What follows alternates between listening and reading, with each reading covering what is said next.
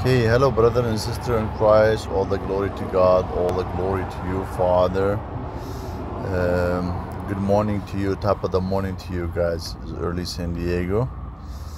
Okay, uh, today's reading is from Jeremiah 32nd and 17th uh, verse. Ah, Lord God, behold, thou hast made the heaven and the earth by great power on the stretched out arms arm. And there is nothing too hard for thee. Father is nothing really hard for you. Is nothing impossible. Everything's possible. Everything made out of your hand father. Thank you. Thank you father.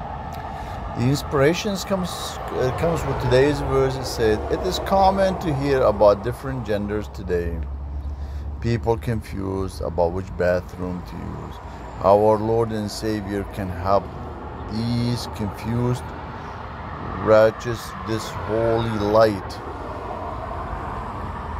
when they get to know Jesus Christ.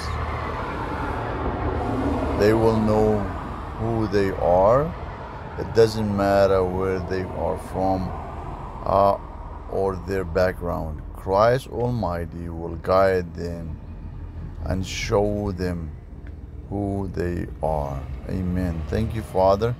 I thank you, Lord, for today. I thank you for blessing us. We thank you for the, giving us the opportunity. Bless your name, Father. Um, everything made of your hand, Father.